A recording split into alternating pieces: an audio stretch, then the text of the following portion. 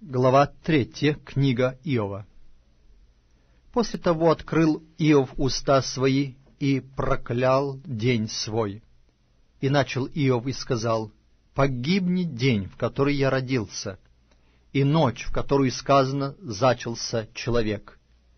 День тот да будет тьмою, да не взыщет его Бог свыше, и да не воссияет над ним свет. Да омрачит его тьма и тень смертная, да обложит его туча, да страшатся его, как палящего зноя. Ночь та, да обладает ею мрак, да не сочтется она в днях года, да не войдет число месяцев. О, ночь та, да будет она безлюдна, да не войдет в нее веселье, да проклянут ее проклинающий день, способный разбудить Левиафана. Да померкнут звезды рассвета ее, пусть ждет она света, и он не приходит — и да не увидит она ресниц денницы, за то, что не затворила дверей чрева матери моей и не сокрыла горести от очей моих. Для чего не умер я, выходя из утробы, и не скончался, когда вышел из чрева?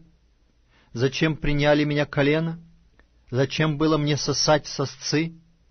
Теперь бы лежал, лежал я и почевал, спал бы, и мне было бы покойно с царями и советниками земли, которые застраивали для себя пустыни, или с князьями, у которых было золото и которые наполняли дома свои серебром. Или как выкидыш сокрытый, я не существовал бы, как младенцы, не увидевшие света. Там беззаконные перестают наводить страх, и там отдыхают истощившиеся в силах. Там узники вместе наслаждаются покоем и не слышат криков представника малый и великий там равны, и раб свободен от господина своего.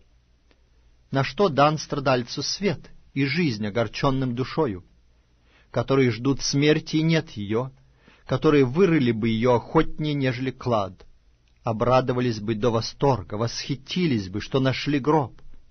На что дан человеку свет, которого путь закрыт и которого Бог окружил мраком? Вздохи мои предупреждают хлеб мой, и стоны мои льются, как вода. Ибо ужасное, чего я ужасался, то и постигло меня, и чего я боялся, то и пришло ко мне. Нет мне мира, нет покоя, нет отрады. Постигло несчастье.